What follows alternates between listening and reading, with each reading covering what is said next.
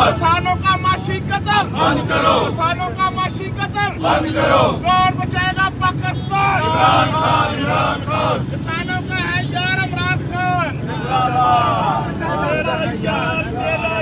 कैदी नंबर आठ सौ चार कैदी नंबर आठ सौ चार